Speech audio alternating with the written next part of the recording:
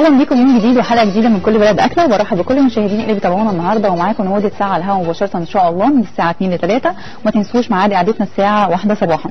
برحب بيكم مرة ثانية وفي انتظار كل أسئلتكم واستفساراتكم على أرقام تظهر معانا حالا على الشاشة. النهارده رايحين لفين؟ لأنهي مطبخ؟ للمطبخ الأردني. هنعمل منه وصفات سهلة ولذيذة وبسيطة وكمان سريعة جدا طعمها حلو إن شاء الله يعجبكم. عندنا النهارده المنسف الأردني عندنا كمان كبه البطاطس أو كوباية البطاطس عندنا آه عصير التمر بالموز وعندنا كمان البرازي والبرازي النهارده الحقيقة آه المفاجأة فيها إن هي سعراتها قليلة جدا جدا جدا. ممكن ناكل ثلاثة كده وإحنا مرتاحين جدا في الدايت. خلاص؟ أول حاجة نبتديها مع بعض وهي كوبايه البطاطس. آه مقاديرها سهلة وبسيطة ولذيذة. وكمان النهارده هنتكلم عن أساليب القلي الصحية. في قلي صحي هنقول بنتجنب المشاكل أو أضرار القلي على قد ما نقدر. إنه طبعا في رمضان عموما أو يعني في كل الأيام بس رمضان الحقيقة بالأخص في ناس بتقلي حاجات كتيرة جدا. طيب لو أنا هقلي يعني ما أعتقدش إن في حد ما بيقليش تقريبا في البيت. إحنا آه دايما بنقول نصيحة إن إحنا لأ ندخل الفرن ونبعد عن القلي. بس لو أنا هقلي هقلي إزاي بطريقة صح؟ ده اللي هنعرفه النهارده مع بعض إن شاء الله. طيب عندنا النهارده كوباية البطاطس عندي عبارة عن إيه؟ اتنين ثمره بطاطس مسلوقة آه تلات أرباع سلق ومهروسة بالشكل ده أو مبشورة بالشكل ده بس يكون تلات أرباع سلق خلاص وببشرها عندي ثلاث آه قطع أو ثلاث شرايح من التوست الأسمر مفروم أو مطحون بالشكل ده. دي آه بالنسبة للكوبيبة نفسها. هي توست وبطاطس وعندي ملح وفلفل وكمون. طيب الحشو بقى اللي داخل الكوبيبة دي عندي عبارة عن إيه؟ عندي عبارة عن لحمة مفرومة معصجة متعصبة عادي جدا لو أنا حابة زي ما بنعصجها وزي ما اتعودنا إن إحنا بننزل باللحمة الأول وبعدين البصل والبهارات. وفي الحالة دي أنا ما بدخلتش أي مادة دهنية خالص ممكن جدا. أو الطريقة المعتادة بتاعتكم برده ممكن. وعندي بقدونس وعندي كمان جبنة موتزاريلا. يبقى الحشو مرة ثانية عندي لحمة مفرومة متعصجة وعندي بقدونس وعندي جبنة موتزاريلا. وطبعا اللحمة المفرومة يعني فيها البهار بتاعها وفيها الملح وفيها آه الفلفل. أنا كل اللي هعمله إن أنا هنزل هنا كده بشوية كده من البقدونس. أهو. خلاص بس اللي هعمله هنا عندي إن أنا هنا هضيف عندي ملح على البطاطس. وعندي فلفل أسود وكمون.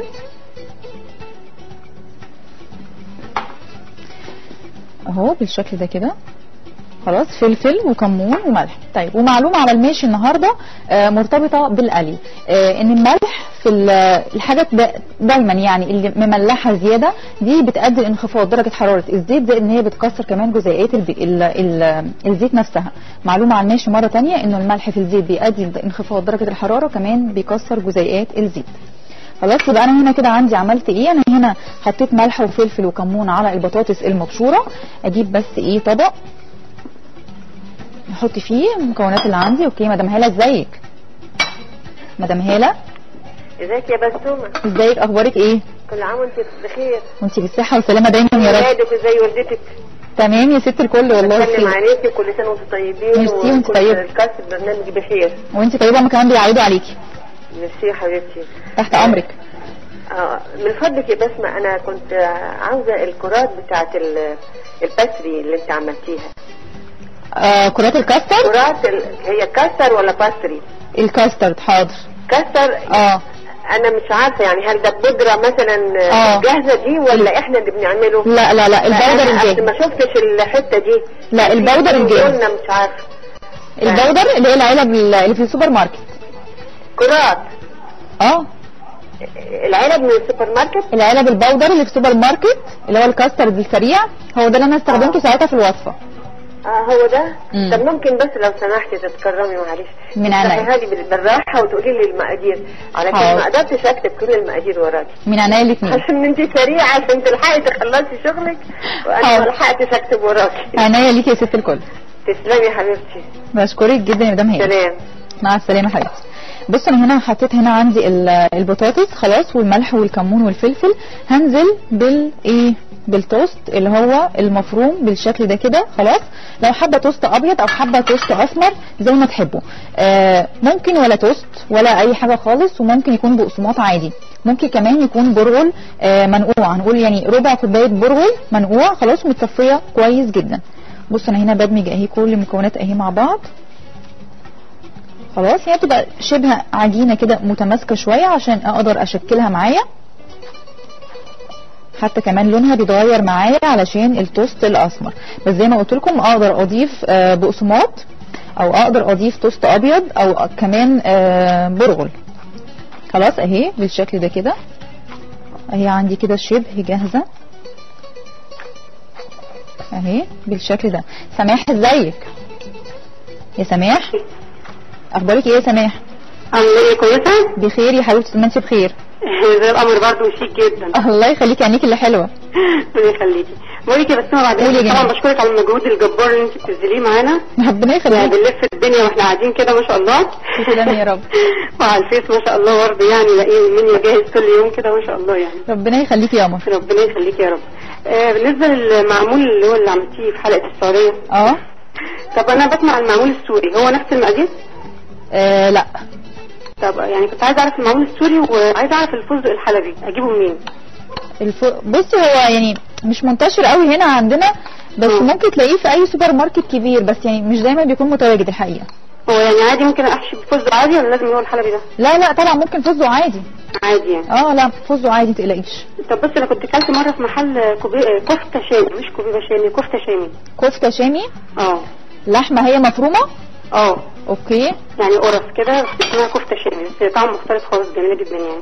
طيب حاضر. وكنت عايزة ال petit four لو عايزة أعمله بالشوكولاتة أشيل قد إيه آه، دقيق وأحط قد إيه؟ بتشيلي 50 جرام من الدقيق وتحطي مكانهم 50 جرام من الكاكاو الخام. أوكي. طب بالنسبة لبسكوت النشاط حاجة معلش بسكوت النشادر؟ آه آه، كنت قلت إن بنحط زيت. هو يعني إيه فايدة الزيت؟ آه فايدة الزيت ليه؟ أنا بحط شوية من الزيت علشان البسكوت نفسه بعد كده ما يطراش. آه بيبقى لو قعد يعني فترة يطرى. بيبقى آه تحسي فيه رطوبة كده شوية فبيطرى بيبقى عامل زي ال petit four البسكوت بس دايما كده بنحب يكون. هش ومقرمش. آه خلاص okay. Okay. يا بسومة تسلمي يا سماح. bye حبيبتي. مع السلامة.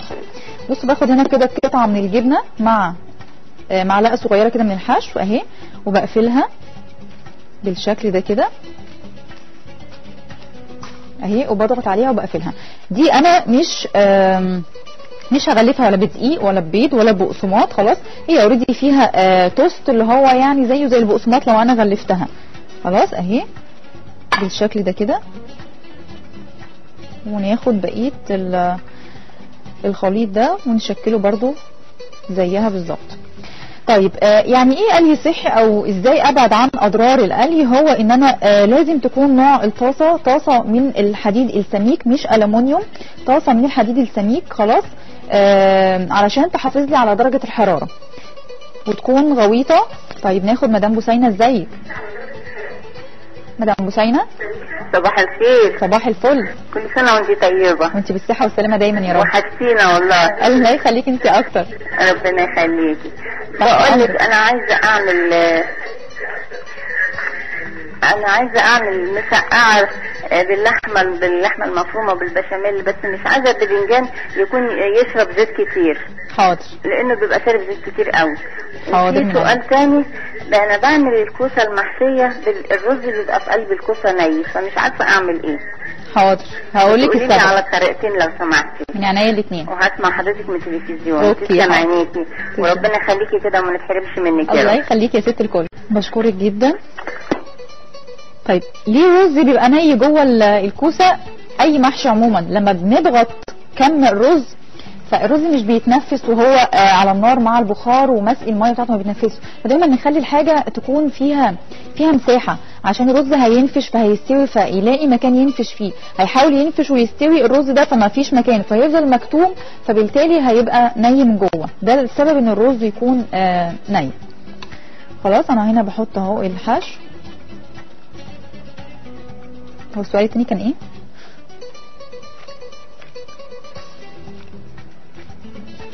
أهو بضغطها بالشكل ده كده. أهم حاجة بس إن أنا بحاول آه بصوا يعني أغطي خالص الجبنة ما تبقاش في جبنة خارجة من بره البطاطس. يعني على قد ما أقدر أهي وبحاول إن أنا أضغط عليها شوية. أهي بالشكل ده كده. شايفين لونها عندي عامل إزاي اهي. طيب آه نرجع تاني للقلي. قلنا ان إحنا الطاسة نفسها تكون طاسة غويطه علشان دايما تكون ال- الزيت واخد نص كمية يعني نص المساحة بتاعة الطاسة نفسها. بيكون مغطي الحاجة اللي أنا آه هحمر فيها. تمام؟ الزيت ما ينفعش أستخدمه يا جماعة أكتر من مرتين. خلي بالنا دي نقطة مهمة جدا. اللي بيقلي كل شوية وبيصفي الزيت ويحط عليه زيت تاني ونقلي تاني. الحاجات دي مش قادرة أقول لكم قد إيه بجد كم الأمراض والسرطانات اللي بتيجي منها. فربنا يعني يا رب إن شاء الله يبعد عننا كلنا آه، الأذى. فنحاول على قد ما نقدر انه الزيت يكون مرتين مش أكتر. وما ينفعش آه، أزود زيت مش مقلي فيه. مع زيت مقلي فيه. خلاص؟ ان دي بقت جزيئات ودي بقت جزيئات تانية خالص فما ينفعش. دي حاجة. طيب أنا مضطرة هعمل إيه؟ إن أنا دلوقتي عندي الزيت بدأ يقل والطاسة عايزة أزود زيتها. في الحالة دي هعمل إيه؟ في الحالة دي هنزل على جوانب الطاسة جوانب الطاسة عندي سخنة. فابتدي أنزل بالزيت البارد ده على جوانب الطاسة عشان تاخد معاها الحرارة عقبال ما توصل للزيت التاني. دي نقطة مهمة جدا لازم نخلي بالنا منها. لو أنا عايزة أضيف زيت على الزيت اللي مقلي علشان الزيت عندي اللي في الطاسة قل. هعمل إيه؟ هبتدي إن أنا أنزل الزيت البارد من الإزازة على جوانب الطاسة اللي هي already بقت عندي سخنة علشان تاخد الحرارة بتاعة الزيت اللي هو already موجود عندي في الطاسة اللي أنا بقلي فيه خلاص؟ لكن أنزل بيه مباشرة كده في نص الطاسة وده بارد وده سخن ما ينفعش. ده بقى جزيئات ودي جزيئات تانية خالص. ما ينفعش الحاجة تكون مجمدة جدا جدا من الفريزر وأجي أنزلها في الطاسة. ما ينفعش الحاجة تبقى يعني على قد ما نقدر طبعا عارفة الحتة اللي أنا هقولها دي هتبقى مش هتنفع. إن الملح الملح فعلا بيكسر الجزيئات بتاعة الزيت وبيهدي النار آه اللي فيه. طبعا مشكلة إن إحنا كلنا يعني أنا دلوقتي مملحة الأكل بس نحاول قد ما نقدر إن إحنا ما نزودش الملح قوي لو في حاجة ينفع نحمرها آه وبعد ما تخرج من الزيت ده أضيف عليها الملح زي بطاطس محمرة مثلا ممكن جدا يعني بيكون أفضل. خلاص؟ طيب مدام وفاء ازيك مدام وفاء؟ يا مدام وفاء. السلام عليكم. وعليكم السلام. ازيك يا بسمة حبيبتي ازيك أخبارك إيه؟ بخير الحمد لله. دايماً يا رب. تسلمي من فضلك أنا بس شفتك معجنتيها وما شفتش المقادير ولا نوع الكفتة دي إيه. الحاضر هعيدها لك. آه وعايزة أقول لكم تحيا مصر ويعيش جيش مصر. تحيا دايما مصر. أوكي يا ست الكل هقول لك حالا. طيب مقادير الكفتة دي عندي إيه؟ عندي حشو وعندي الكفتة. طيب هي عبارة عن إيه؟ عندي الحشو لحمة مفرومة معصجة عادي خالص آه، جبنة موتزاريلا وبقدونس حابه أقلب الجبنة مع اللحمة البقدونس ممكن مش حابه ممكن آخد قطعة كده لوحديها زي ما أنا بعمل دلوقتي وأحطها مع آه، الحشو داخل البطاطس. طيب البطاطس بقى نفسها عندي عبارة عن ثمرتين من البطاطس تكون آه، مسلوقة بس تلات أرباع سلق وبعدين ببشرها. وبعد ما ببشرها آه، بحط عليها ملح وفلفل وكمون. يعني مش أكتر من كده. أه بقلبها ومعاها ثلاث شرايح من التوست الأسمر أو التوست الأبيض أو بقسماط لو أنتوا حابين أو برغل زي ما تحبوا. خلاص بصوا أنا بحاول بس إن أنا إيه أقفلها. كويس كده بالشكل ده. وهندخلها التلاجة قبل ما نحمرها على فكرة علشان تتماسك أكتر. أنا عندي كل حاجة هنا آه مستوية. البطاطس ال- التوست عادي. اللحمة المفرومة الجبنة بس هي هتسيح من درجة الحرارة مش أكتر فكل اللي عايزاه هي تاخد بس لون بسيط من بره مش أكتر من كده. خلاص أهي بحشيها بالشكل ده كده. طيب إيه تاني بالنسبة آه للزيت؟ okay ماما زوزو وحشتينا. ازيك يا بسوم انت وحشتيني كتير كتير إيه؟ كتير والله أنا بتفرج. على الحلقات بس انت عارفة ماليش أسئلة فما برضاش أضيع وقتكم يعني تنورينا يا ماما زوزو باي فستار والله ربنا يخليكي يا حبيبتي تسلمي انت. عاملة إيه كل سنة وانت. طيبة واولادك وكلكم وانت كويسين. وبعد اذن. حضرتك وإذن البرنامج بقول لحلا كل سنة وأنت طيبة يا حبيبتي عقبال ما. نشوفك بتتخرجي من الجامعة ونشوفك عروسه يا رب آمين. إن شاء الله. أكيد حلقة معاكي دلوقتي. معقولة هتكون صاحية؟ آه لا صح يا تقلقيش. كل سنة وهي طيبة يا حبيبتي. كلكم طيبين يا رب. بشكرك جدا ماما. يطمنا عليك. ربنا يديم عليك الصحة يا رب. وربنا يوفقك يا رب. انت والكل اللي. شغالين معاك. بدعواتك الله يخليكي يا رب. بألف سلامة يا حبيبتي. بشكرك. جدا يا سلام. تسلمي ست الكل. طيب يبقى قلنا إن إحنا ما ننزلش بالحاجة تكون مجمدة ما تكونش كمان الحاجة آه، فيها مية. دي نقطة مهمة جدا. آه الطشة اللي إحنا بنعملها دي والمية وعلى الزيت على فكرة دي غلط جدا هي برضه بتكسر جزيئات موجودة جوه الزيت. طيب إمتى أعرف إن الزيت ده فاسد وما ينفعش إن أنا أستخدمه؟ ودي نقطة مهمة جدا جدا يمكن يعني بتعدي علينا أو بنقول لأ يعني عادي ده بس من القلب. إنه الزيت يكون فيه رواسب وأنا بستخدمه إن الزيت يكون آه لزج وأنا بستخدمه القوام بتاعه مختلف وأنا برضو بستخدمه. إنه الزيت يكون مطلع ريحة مش حلوة وأنا برضو بستخدمه. كل الحاجات دي غلط جدا. وما ينفعش أخلي على فكرة الزيت يغلي أكتر من دقيقة واحدة آه على النار من غير أكل. يعني هي كبرنا دقيقة لو إحنا بس يعني نسيناه كده أو سايبينه بس يسخن قوي. خلاص؟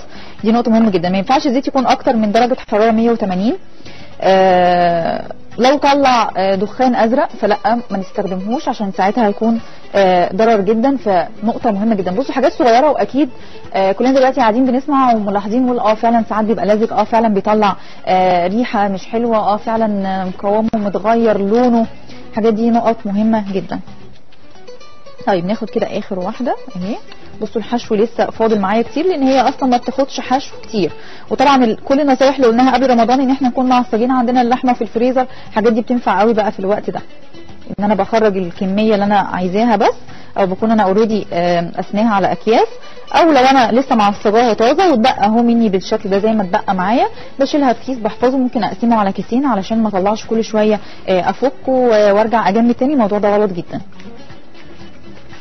خلاص أهي آخر واحدة. أدخلها بس إيه يعني آه خمس دقايق كده بس الفريزر تمسك بس شوية وبعدين آه نحمرها خلاص يبقى كده معانا خلص إيه أول طبق. أو يعني نصه مش مش كله قوي.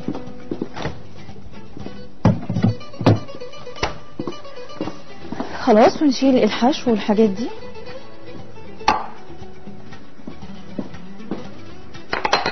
طيب هنعمل دلوقتي إيه؟ هنعمل دلوقتي إحنا ممكن نحط بس على النار التمر هندي. ناس كتيرة بتسأل دايما على التمر هندي. اولا التمر هندي يا جماعة اللي هو الطبيعي الأصلي. آه مش اللي هو آه سكر ولون ومكسبات طعم. ده مش تمر هندي. خلاص تمر هندي اللي هو بيكون طبيعي اللي هو ده. اللي هو بيكون بالشكل ده كده. خلاص ده التمر هندي الطبيعي مش اللي متضاف عليه اللي هو بيكون عبارة عن سكر وبيتحط له لون وبيتحط له طعم ال- التمر وطعم كمان جوز الهند وبيتقلب كله مع بعض وبيتاخد بيتاخد مثلا معلقتين على كوباية مية لا ده مش تمر التمر هو ده. طيب آه، ده هنا إحنا محتاجين هنا عندي يعني طاسة أو حلة. طاسة أو حلة. هنعمل فيها إيه؟ الطاسة أو الحلة دي هنحط فيها كوبايتين من المية. كوبايتين من المية على كوباية من التمر هندي اللي هو الطبيعي على كوباية سكر. مع آه معلقتين من آه ماء الورد أو ماء الزهر يعني زي ما إحنا حابين. أو مش حابب يضيفه خالص آه ممكن ما نضيفوش. عشان بس أنا عايزاه يفضل كده على النار شوية. اهي كوبايتين تقريبا. كوبايتين من المية وهيتبقى عندي ست كوبايات مية على جنب ده في الآخر. مدام إلهام إزيك؟ مدام إلهام؟ مساء الخير يا أستاذة بسمة حبيبتي. فينك يا مدام إلهام؟ عاملة إيه؟ معلش كان عندي رامي بس في ثانويه عامة فكنت مشغولة شوية. الله يعينك ودايما يا رب بالنجاح إن شاء الله. الله يخليكي يا حبيبتي. كل مليون سنة وحضرتك وانتي طيبة طيبة يا حبيبتي. طيبين يا حبيبتي كلهم. تسلمي وربنا لي يا رب. يعينك ويقويك يا حبيبتي علينا وعلى المعلومات القيمة اللي بتقولها الله يخليك يا ست الكل. تسلمي يا رب. الله يخليكي يا حبيبتي. أنا عايزة سؤالين من حضرتك يا تحت. بسمه آه عايزة ال- ال- الكفتة ال- الفراخ يا شيف بسمة اللي هي بتتعمل بالصلصة البيضاء. إزاي بتعمل في إيه؟ الصلصة البيضاء كفتة الدجاج كفتة الفراخ اللي بالصلصه البيضاء. آه. وعايزة ال- الكبدة اللي هي بتتعمل بدقة الثوم بالثوم؟ آه بالدقة. في ده في كبدة بتتعمل بدقة الثوم كده أنا كنت أكلتها بره آه. فعجبتني قوي قوي. فيعني حبيت إن أنا حتى أسأل عليها الشيف وهو قاعد معايا فقال لي دي دي سر المهنة وكلي وخلاص وضحك كده معايا وقال لي المفروض تاكلوا وخلاص ما تسألوش. طب قولي لي هي هي برده ولا من غير رده لا هي كانت من غير رده يا أستاذة بسمة. تمام. حاضر. كانت من غير رده هقول لك عليها كانت معموله بدقه الثوم وكان فيها فلفل احمر وعليها بقدونس. فبس كان طعمها يعني شيك قوي قوي قوي يعني عجبتني. لا عينيا حاضر. أنت عايزة كفتة الفراخ والكبدة. آه آه حبيبتي. حاضر. احفظوا الأسئلة يا جماعة. حاضر ربنا عينيا لك. يخليكي لينا وما نتحوج لحد ابدا بعد ربنا إلا ليكوا يا أستاذة الله بسمة يخليك يا رب. الله يخليك يا ست ربنا. يخليكي يا حبيبتي. مدام السلامة. الهام الله تسلمي. يخليك يا أستاذة بسمة حبيبتي. بشكرك جدا يا مدام الهام طيب آه إحنا دلوقتي عملنا إيه هنا على النار علشان بقى يكون براحته؟ شفتوا أصلا تمر هندي آه جاف هو وجامد شوية؟ هتشوفوا دلوقتي بعد كده عامل زي حاجة طرية وناعمة خالص بقى بوريه خالص. ليه حطيت كوبايتين مية مع السكر والتمر هندي وماء الورد أو ماء الزهر آه هيغلي مع بعض لحد ما يطرى خالص يبقى بوريه. بعد كده ببتدي أصفيه وبزوده بقى زي فكرة العرقسوس. نفضل نزوده بالمية لحد ما يخف يعني هو بيبقى عندي خلاص مركز فبنبتدي نزوده لحد ما يتخفف على المقدار اللي أنا بحب آه، أشربه أو أو الطعم اللي أنا بحب أشربه بيه. طبعا آه، للي حابب يضيف سكر أكتر آه، ممكن جدا. طيب هنعمل دلوقتي حاجة آه طعمها حلو جدا و... وفيها نقطة أساسية يمكن بتكسب الناس عن هي تعملها وهو المنسف الأردني. إيه اللي بيكسب الناس إن هو يعملوه؟ هو الجميد، الجميد ده حاجة كده زي اللبن ال- المجمد خلاص. آه يعني شبه تقريبا مش موجود هنا عندنا أو مش بيبقى عند أي حد أو لازم حد يجيبه من بره. طيب هنستبدله بإيه الجميد ده؟ ونعمله بطعم برضو يكون رائع إن شاء الله يعجبكم. آه هنستبدله بلبن رايب وزبادي. خلاص الجميد هستبدله بلبن رايب وبزبادي يعني بمقدار أو بنسب معينة خلاص؟ أول حاجة عندي لحمة مسلوقة عادية جدا خلاص؟ اللحمة دي أنا بحط عليها في المية بتاعه السلق بتاعتها بصل وثوم وحبهان وروزماري وعود قرفة وكبيبة صيني لو عندي قرنفل يعني بطعم الشوربة بتاعتي عشان كمان تطعم لي اللحمة اللي عندي. خلاص؟ دي اللحمة اللي عندنا هنا وهي هي عندنا بتتسلق ويعني إيه شبه دخلت خلاص في السوا عشان أنا من ساعة ما جيت. الايه؟ المنسف آه. خلاص وعندي آه رز رز أبيض عادي بس إيه بنحط له سنة كركم بسيط خالص علشان يكون آه في سنة صفار بالشكل ده. وكمان حبيت إن أنا أضيف له آه عود من القرفة أهو لو جاي معانا. خلاص. رز عادي أنا بحط المية آه بتغلي ولما بتغلي بسقط فيها الرز وعود قرفة وسنة كركم وشوية ملح. ورز بيستوي عادي خالص. يعني رز عادي ولحمة مسلوقة عادية خالص. طيب إيه الفكرة في الطبق ده كله؟ في خليط اللبن اللي إحنا هنعمله هو ده اللي بيديله الطعم المميز. طيب إيه هو خليط اللبن ده اللي عندي واللي هيكون طعمه حلو إن شاء الله لما تجربوه؟ آه من غير ما نستخدم الجميد للي مش عنده أو مش عارف آه يجيبه. طيب هنقول عندي لتر من اللبن الرايب. لتر من اللبن الرايب واقدر اجيبه كمان خالي الدسم وعندي ثلاث علب زبادي صغيرة. خلاص؟ هي على فكرة مقاديرها يعني لما نشوف شكل الطبق ده يعني تحس انه شكله صعب بس هو مقاديره مفيش أبسط من كده ولا أسرع من كده. رز عادي خالص بحط له بس سنة كركم عشان يدي لون آه، صفاري كده بسيط ولحمة مسلوقة عادية. طيب الخليط اللبن اللي عندي هنا عندي ثلاث علب من الزبادي. أهي بالشكل ده. بس بقلب الزبادي كويس جدا. خلاص زي كأني بعمل سلطة زبادي بالظبط. آه علشان ما يبقاش فيها أي كتل خالص وتكون متجانسة جدا. اهي بصوا عندي. اهو بقى بالشكل ده كده. شايفين الخليط معايا؟ ثلاث علب صغيرين من الزبادي. اهي بالشكل ده. طيب نقطة مهمة جدا جدا وركزوا فيها إن أنا أنزل بمعلقة نشا واحدة أو معلقة دقيق علشان ما يقطعش مني على النار. خلاص؟ أهي معلقة دقيق أو معلقة من النشا. وبقلبها برضو كويس جدا. أهي بالشكل ده لحد ما الدقيق عندي يختفي خالص ما يبقاش فيه أي كتل عندي. أهي في نفس الوقت أطمن إن كل الخليط بقى متجانس مع بعض علشان ما يقطعش مني على النار. اهو بقى كده عندي الخليط. عملنا إيه تاني؟ ثلاث علب من الزبادي ضربتهم كويس بالمضرب اليدوي العادي. خلاص نزلت المعلقة من الدقيق أو من النشا. بقلبها تاني كويس جدا. بعد كده ببتدي إن أنا أضيف اللبن الرايب بالتدريج. أهي بالشكل ده كده.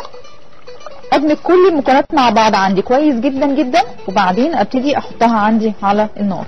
عايزه أقول لكم طبق سريع. وسهل وبسيط وطعمه إن شاء الله هيعجبكم. يعني ممكن تعملوه قبل الفطار على طول يعني مفيش. ناس كمان بيبقى عندها ساعات لحمة مسلوقة ومحتارة طب هناكلها محمرة طب ناكلها مسلوقة. لا إحنا ممكن نعمل آه طبق زي ده سريع وفي نفس الوقت كمان طعمه حلو. أهي قلبتهم كده مع بعض كويس. هنزل كمان بملح وبفلفل بس مش هزود الملح علشان الرايب والزبادي بيبقى فيه مزازة. خلاص أهي والفلفل. وسنة صغيرة من الكركم. يعني سنة صغيرة كده بس خالص تدي برضو لون آه، شبه لون الرز شوية. اهي عندي بالشكل ده. ولا بقى عندي هنا كده النار. مهم جدا إن أنا أبقى بقلبه آه وهو على النار علشان ما يكتلش معايا عشان إحنا حاطين معلقة من الدقيق. ومش عايزين نزود الدقيق ولا النشا عشان ما يبقاش عامل زي المهلبية. لا إحنا عايزينه سمكه آه زي سمك الرايب بالظبط. يعني هو يفضل سمكه زي سمك الرايب. بس حابة أضيف سنة تاني. من الكركم عايزه أقول لكم بجد طعمه آه، في مزازة كده طعمها حلو قوي آه، مع اللحمة إن إحنا لسه كمان هنسوي فيها اللحمة فاللحمة بتاخد طعم المزازة دي وطعم اللبن ده يبقى طعمه حلو جدا. أهو عندي كده على النار خلاص؟ طيب وعندنا هنا التمر أهو والسكر أهو بدأ يطرى معايا خلاص؟ بس لسه. أهو لحد لما يبقى ناعم خالص وبوريه خالص. طيب أنا وأنا حاطه الخليط ده كده آه، هنحط بس سنة صغيرة من التوم. يعني فص على كل المقادير دي كلها اللي هو اللتر لبن رايب والثلاث علب زبادي الصغيرين ومعلقة الدقيق وملح وفلفل وكركم فص واحد من التوم ناعم. فص واحد من التوم ناعم خلاص؟ آه بيوازن قوي معايا الطعم وبيبقى طعم يعني قريب جدا جدا مش هتفرقوا لو أنتوا آه عاملينه بالجميد أهو. عندي كده بالشكل ده وهنقلبه كل شوية مع بعض لحد لما آه يكون مظبوط معانا. خلاص علشان لسه هننزل بيه كمان آه هنحط فيها اللحمة. طيب آه إيه الأساسي كمان مع الطبق ده؟ هو خبز الشراك. خبز الشراك في سوريا بيسموه خبز الصاج خلاص يعني هو زي بعض. هو الفكرة إن هو بيبقى خبز بيبقى رفيع خفيف قوي خبز الصاج اللي بيتعمل فيه الشاورما بره في المحلات السوري. هو ده بيتقال هناك خبز الشراك وفي سوريا بيتقال خبز الصاج وعندنا هنا ممكن اللي يبقى شبهه قوي قوي قوي الرقاق الطري. وأعتقد إن إحنا عملنا الرقاق قبل قبل رمضان. يعني اللي عنده في الفريزر يبتدي إن هو يخرجه ويعمله معانا في الوصفة دي. خلاص أنا جبت رقاق طري أو للي حابب يعمل خبز صاج أو يجيبه برده ممكن جدا. أهو أقلب بس المكونات عندي دي. زي ما قلت لكم علشان ما يبقاش فيها أي كتل عندي على النار. خلاص أهي. بالشكل ده. يبقى عملنا إيه؟ ثلاث علب من الزبادي معلقة دقيق فص ثوم آه لتر من اللبن الرايب. أقدر أجيبه خالي الدسم ملح فلفل وشوية كركم صغيرين. يدي بس يعني لون كده لون كده جاي من بعيد مش أصفر أصفر بس لون كده يكون حلو. آه اللي هيكون عندنا على الوش اللي هيتزين بيه لوز محمر آه لو حابين. مش حابين خلاص مفيش أي مشكلة خالص. آه أو كمان آه بقدونس على الوش فبيبقى طعمها مميز وحلو جدا. طيب نعمل إيه دلوقتي؟ نعمل دلوقتي البرازق والبرازق الحقيقة من الحاجات البسكوتات طعمها حلو. وأنا كنت آه، حريصة إن أنا أعملها بسعرات قليلة علشان يعني مش هنقول براحتنا قوي بس يكون براحتنا على قد ما نقدر وإحنا بناكل الحاجات دي ما يكونش عندنا يعني أي قلق قوي. خلاص؟ المقادير دي مقادير بسيطة وسهلة وهتعجبكم إن شاء الله وهقول لكم هطلع كام قطعة بالظبط. طيب آه عندي كوبايتين ونص من الدقيق عليهم نص معلقة صغيرة من ال baking powder. كوبايتين ونص من الدقيق عليهم معلقتين ونص آه عليهم معلقة آه نص معلقة صغيرة من ال baking powder كوبايتين ونص دقيق. كوباية سكر powder آه أجيبه سكر فاكهة وأطحنه ناعم عشان يكون عندي powder. وعندي كوباية من الزبدة وعندي بيضاية طبعا دلوقتي هنقول سكر وزبدة وإزاي سعراته قليلة. أنا بحب ألعب في حتة كده صغيرة وهي إن أنا آه، أطلع من المقادير قطع كتير وأقسم الكالوري بتاعها على كل الأعداد دي فبتقل عندي السعرات. خلاص؟ يبقى كوبايتين ونص من الدقيق نص معلقة صغيرة من ال baking powder عندي كوباية سكر باودر ناعم بس بجيب سكر الفاكهة وبطحنه ناعم أو لو عايزين تستخدموا السكر العادي ماشي بس يعني السعرات تعلى شوية. عندي كوباية آه، زبدة وعندي بضايه طبعا عليها فانيليا. طيب أنا هعمل إيه دلوقتي؟ أنا دلوقتي هحط هنا عندي في العجان السكر والزبدة. أهي ونجيب كده المعلقة بتاعتنا. أحط السكر والزبدة وأخليها يكون لها قوام هش وكريمي. خلاص دي نقطة مهمة جدا. آه البيتيفور الغريبة البسكوت البرازق كل الحاجات الناعمة دي مهم جدا جدا إن أنا أضرب الزبدة والسكر لحد ما يديني قوام هش وكريمي. خلاص والزبدة تكون بحرارة ال- المطبخ أو يعني أتقع شوية من حرارة المطبخ. طيب. كفتة ال- الفراخ لمدام آه، إلهام. هتكون عندي عبارة عن إيه؟ عبارة عندي عن كيلو من صدور الدجاج يكون مفروم ناعم جدا. بضيف عليه بصلاية آه ناعمة وفص ثوم جنزبيل وملح وفلفل وبهارات شوية بقدونس كمان آه مفرومين وممكن معلقتين نشا أو معلقتين من البقسماط الناعم. خلاص؟ وممكن أضيف بطاطساية صغيرة خالص خالص تكون مسلوقة ومبشورة وأقلبها معاها. بشكل كل المكونات دي مع بعض وحسب ما أنا حابة آه، أحمرها ادخلها الفرن أدخلها في أي وصفة تاني يبقى أنا عندي الأساس. بصوا أنا هنا بقلب أهو كل المكونات دي مع بعض عندي. على النار خلاص والتمر هندي زي ما إحنا شايفين هو عمال بيغلي عندي.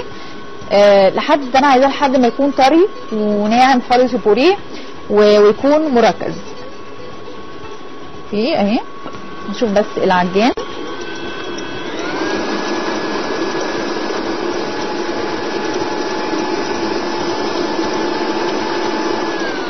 أجيب بس الجوانب. مشكلة بقى يا جماعة العجان في المقادير الصغيرة بتكون مشكلة. تحسوا إن كل المكونات بقت على الجوانب. فدايما برجح المقادير الصغيرة يكون في معايا مضرب آه، كهرباء اللي هو الصغير ده العادي اللي عند أي بيت مش العجان كبير.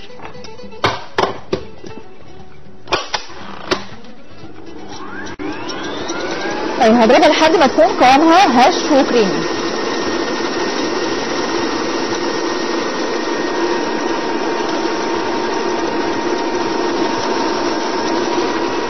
طيب هنزل هنا كده آه، بالبيضة.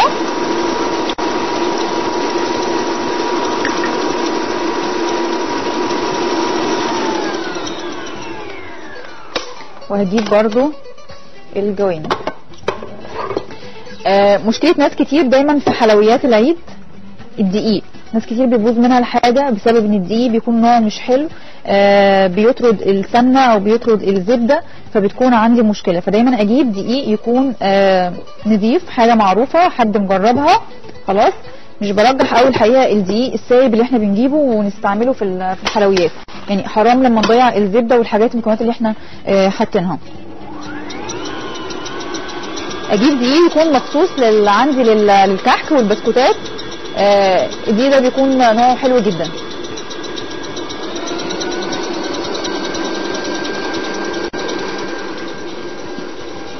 وأقلب هنا. أهو الخليط عندي بتاع اللبن اللي هو اللبن الرايب والزبادي والكركم والثوم.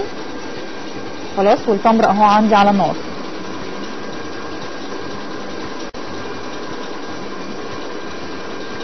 أول بس ما يبتدي معايا آه، يغلي. هبتدي إن أنا آه، أنزل فيه آه، باللحمة.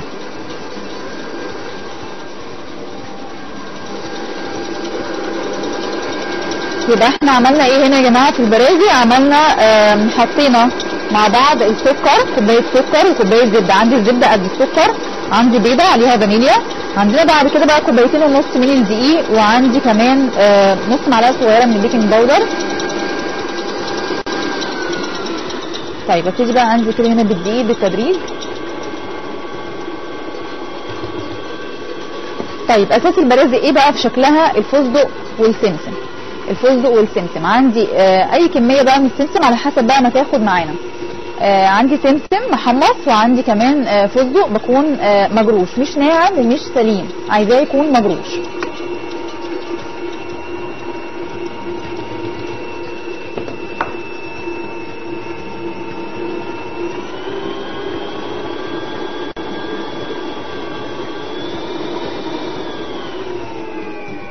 بنزل كده بالدقيق واحدة واحدة.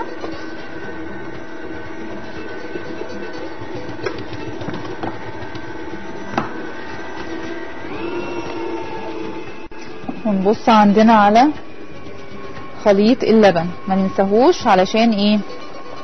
علشان ما يكتلش معايا عشان هو فيه معلقة دقيق أو النشا. بس أنا برجح الحقيقة معلقة الدقيق مش النشا. أهي بالشكل ده كده.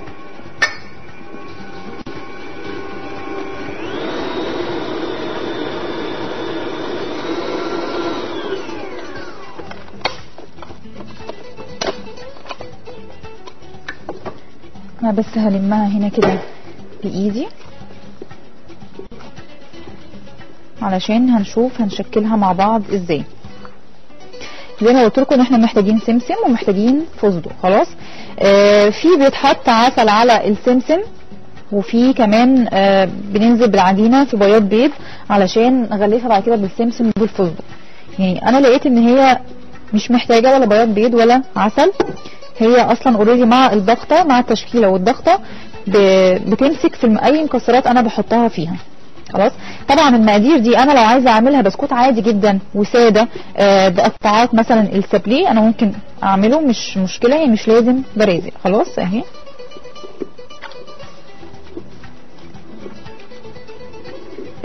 عندي أهي. العجينه أهي بالشكل ده كده. خلاص؟ بصوا ملمسها. طري أهي. شايفين ملمسها؟ آه. حاضر. أوكي. بصوا أهي بصوا عندي العجينة طرية إزاي؟ أهي. بالشكل ده. خلاص. هعمل إيه دلوقتي؟ هبتدي دلوقتي إن أنا أشكلها. بس ناخد هنا عندنا الفستق وناخد كمان عندنا السمسم ونجيب الصينية بتاعتنا.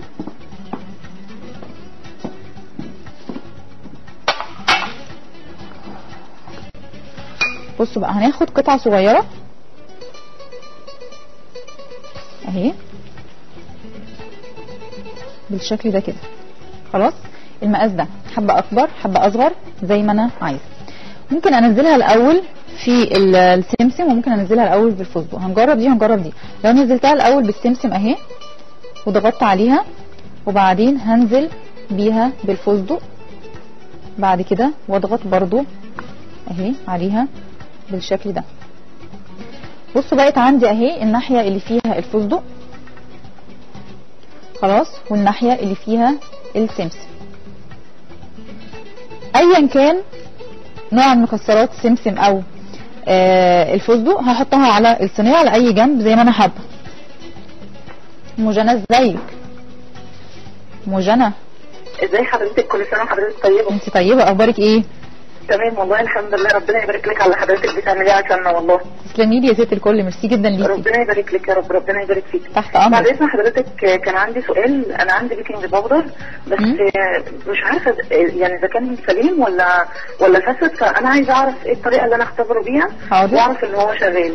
حاضر. وبعد إذن حضرتك أنا بستأذن بس كلام إلهام. لو رقمها ممكن أخده من ال control بس بعد اذنك okay. شكرا. okay بشكرك جدا يا ام جنى. شكرا شكرا. طيب شفتوا إحنا هنا عملنا إيه؟ أنا بس عايزة هنا أزود شوية مية عشان هنا عندي ال- التمر لسه شوية والمية بدأت تقل أهي. بالشكل ده كده. خلاص أهي. باخد كده قطعة أهي صغيرة زي ما قلت لكم المقاس اللي أنا عايزاه. عارفين المقادير تعملي كام قطعة؟ هتعمل لي 70 قطعة. كلكم أكيد هتستغربوا دلوقتي 70 قطعه كوبايتين آه، آه، دقيق وعليهم مش عارف كوباية زبدة وكوباية سكر 70 قطعه 70 قطعة بالظبط. خلاص؟ لو عملتوها بالشكل ده بالمقاس ده هتلاقوها قطعت معاكم 70 قطعة بالظبط. فطبعا يعني عدد حلو جدا جدا. بصوا اهي. خلاص نعمل واحدة كمان. هندخلها على درجة حرارة 160 آه هتقعد حوالي 10 دقايق تقريبا. طيب لو أنا عملتها بقى بالأول أهي بالفستق خلاص. وبعد كده مثلا بالسمسم. يعني عادي هو الفستق الأول أو السمسم الأول عادي جدا أهي. خلاص. وبحاول أرققها أكتر على الصينية يعني خليها دايما آه، ارقق أكتر. خلاص أهي هي بتكون رفيعة وبتكون خفيفة. طيب ال baking powder هعرف إزاي هو كويس ولا مش كويس. هنجيب آه، شوية مية صغيرين. أو شوية خل صغيرين وبنزل كده فيها بنقطة من ال baking powder. لو عمل فقاعات كده وفار يبقى هو ده كويس وشغال اشتغلي بيه عادي جدا. ما عملش أي حاجة وما تأثرش بأي حاجة يبقى ده مش شغال ومش هيقوم لك أي حاجة ولا كيك ولا أي حاجة خالص. أهي بصوا عندي أهي بالشكل ده. خلاص هدخلها الفرن دلوقتي على درجة حرارة 160 تمام؟ أوكي. اهي الفرن عندي شغال. هندخلها كده. ونشيل الحاجات اللي إحنا مش عايزينها. طيب مدام هاله كانت عايزة كرات ال- الكاسترد فأوعدك إن أنا بكرة أقولها لك عشان أقول لك مقاديرها آه بالظبط. خلاص إن هي كانت فيها تفاصيل صغيرة. فهجيب لك بكرة مقاديرها معايا في الحلقة؟ وهقولها لك إن شاء الله في أول الحلقة. طيب بص أنا عندي هنا كده اللبن ده خليط اللبن ده كده خلاص. هعمل إيه هنا عندي؟ هجيب هنا اللحمة اللي هي كده خلاص استوت. خليها بس معايا عشر دقايق في خليط اللبن ده. خلاص؟ آه تاخد الطعم واللون شوية يعني والشكل. أوكي أهي. خلاص؟ طبعا آه مقدار اللي أنتوا حابينه كيلو نص كيلو زي ما أنتوا حابين حسب عدد أفراد الأسرة. اهي ونشيل دي كده. ونجيب الغطا بتاعنا.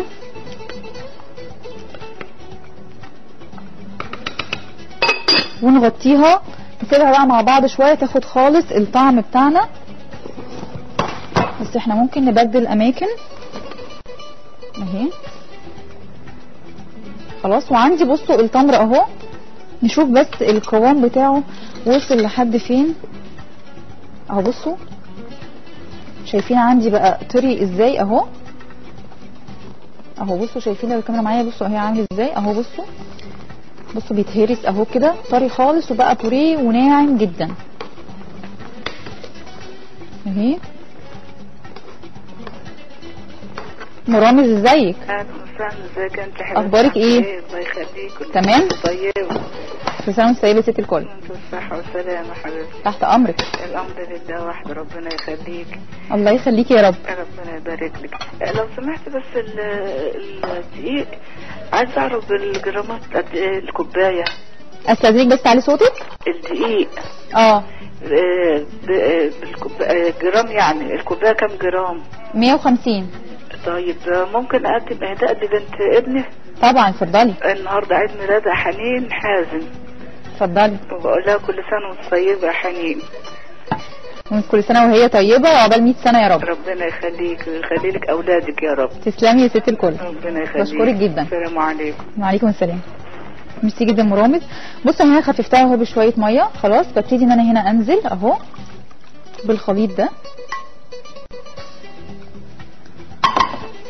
وابتدي هنا أجيب عندي المعلقة. وابتدي بصوا انزل هنا أهو. بنزل كل العصارة اللي موجودة عندي في التمر. أهي بالشكل ده. خلاص. وبفضل أنزل عليها مية بالتدريج واحدة واحدة. علشان تاخد معاها بقية كمان العصارة اللي موجودة.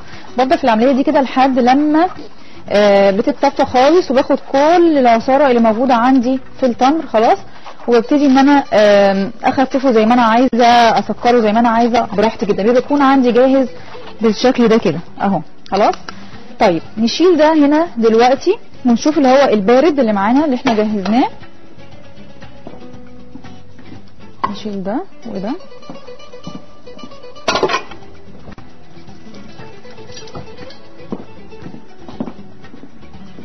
ونجيب بس عندنا هنا. الطاسة دي علشان نسخنها. بصوا عندي هنا خليط اللبن اهو بيغلي مع اللحمة ولو نلاحظ انه هنا يعني لبن وزبادي بس ما تقطعش على النار. ليه؟ علشان معلقة الدقيق أو النشا اللي إحنا آه ضفناها. طيب هنعمل إيه دلوقتي هنا؟ هقطع موزاية على آه التمر ده. خلاص وبقى تمر هندي بالموز لو أنا حابة يعني كنوع من انواع التغيير أو التجديد أنا عندي هنا. أهو هناخد حوالي كوبايتين من التمر. أنا هنا التمر ده علشان بارد خلاص. كوبايتين من التمر عليهم ثمرة من الموزة. وهبتدي بس كل اللي هعمله إن أنا هضربها في الخلاط مع بعض. كده التمر اوريدي فيه السكر بتاعه. لو حابة أزود السكر ممكن جدا.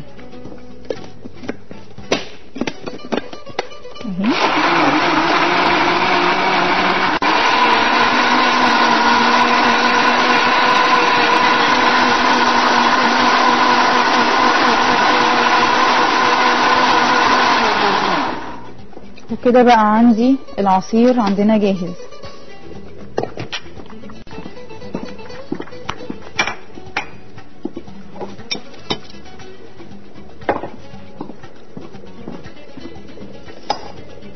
يبقى شربنا تمر هندي بطعم مختلف شوية. أهو. بالشكل ده. طيب ونجيب عندنا هنا كرات البطاطس.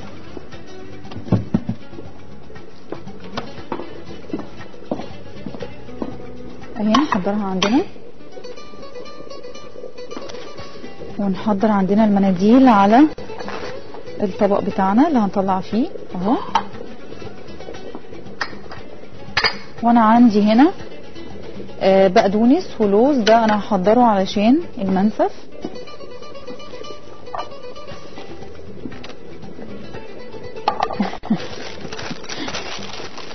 أيوه صح.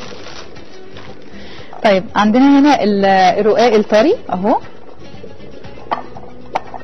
بالشكل ده كده. زي ما قلت لكم عندكم خبز الصاج آه، أو ممكن الرقاق الطري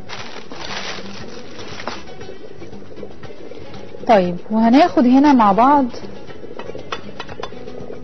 عندي كده الحلة دي. عايزه أقول لكم ريحتها بجد جبارة. هاخد هنا ناخد دي هنا كده. هعمل إيه بقى هنا؟ عارفين زي الفتة المصري بنسقي الأول العيش؟ هسقي برضو هنا كده العيش ده أهو بخليط اللبن ده علشان ياخد الطعم. عايز لكم أصلا يعني في الأكل الرز كده مع العيش ده مع الصوص ده يبقى طعمه حلو جدا. أهو بالشكل ده كده. وهبتدي هنا عندي آخد الرز. نشيل ده دلوقتي هنا. هاخد الرز ده ونشيل عود القرفة ده. هقدم الرز فوق الخبز ده والصوص ده اللي إحنا حطيناه اهو. شايفين لون الرز مع لون الصوص أصلا؟ هي سنة كركم كده بس بسيطة قوي. إذا كان في الخليط اللبن نفسه أو في في الرز بتدي اللون ده لون تحس إنه طبيعي كده شوية يعني مش مش مزود كده ومش اوفر فيه. أهو. عايز أقول لكم الطبق ده كمان بيبقى حلو قوي في في العزومات. وبيكون شكله كمان حلو على السفرة. هو إحنا بنملاها كده بس إيه بشكل هرمي شوية الرز. وبعدين هنرص عليه اللحمة.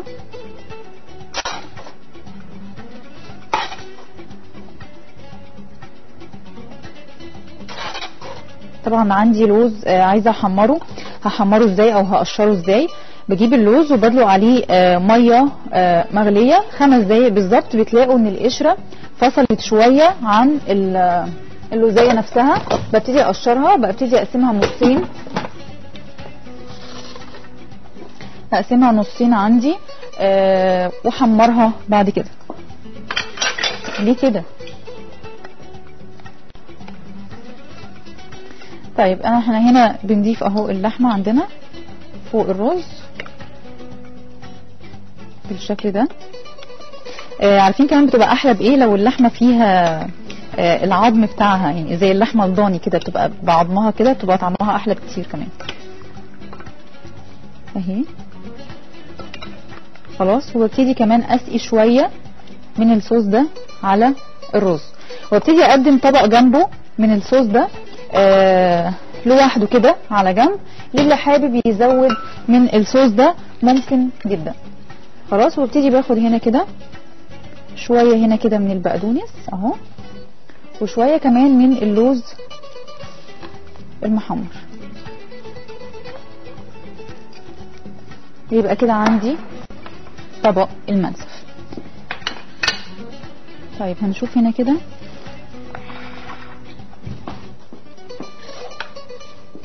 نحمر بقى عندنا كفتة كده البطاطس شكلنا كده مش هنلعب. يعني هحط بس كده كام واحدة. خلاص وأجيب كده هنا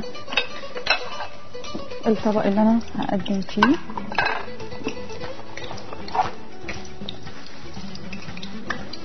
طبعا زي ما اتفقنا إحنا بندخلها جوه شوية في الثلاجه أو في الفريزر. نشوف كمان معانا ال- البرازق. وأنا بقدم حاسة إن أنا آه، ناسية حاجة في حاجة تانية أنا عملتها.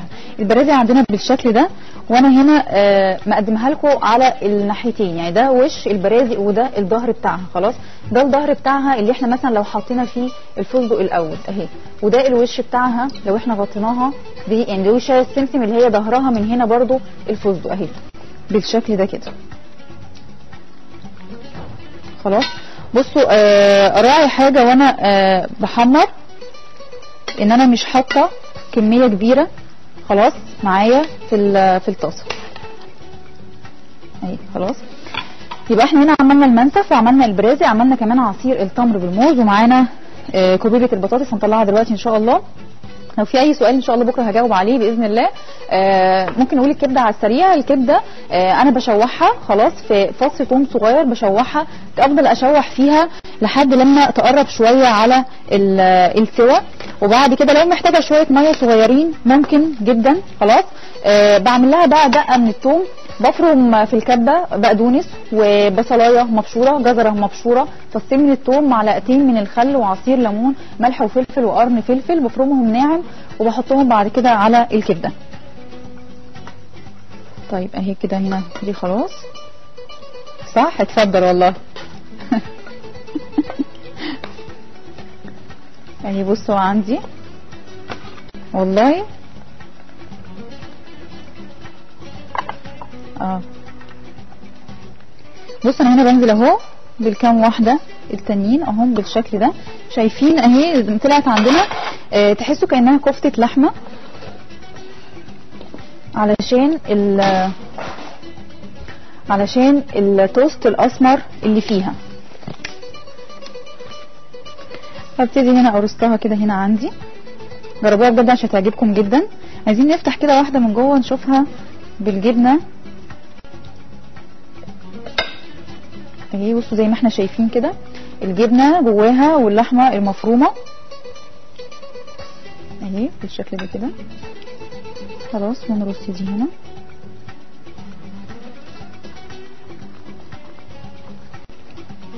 بس نقطة مهمة جدا جدا في كفتة البطاطس أي كركة بطاطس. المفروض ما نقلبهاش يا جماعة أصلا. خلاص بس أنا علشان الوقت وعايزة أقدمها قبل نهاية الحلقة. بس مفروض ما بنقلبهاش عشان بتتكسر وبتتفتح ودي بتبقى مشكلة ناس كتير. مشكلة ناس كتير كمان في كركة البطاطس إن هي بتفك في النار. ليه بتفك في النار؟ بتكون البطاطس آه مسلوقة زيادة بكون حاطة كمية كتيرة في الزيت أو الزيت بارد. ده كل ده بيخلي البطاطس في في الطاسة تفك. أوكي. نطلع طيب آخر كام واحدة طيب؟ ينفع كده؟ أخرج من الحلقة من غير البطاطس؟ طيب يعني هم رفقة بحالتي يعني علشان إيه؟ البطاطس. طيب هنرصها هنا كده مع أخواتها.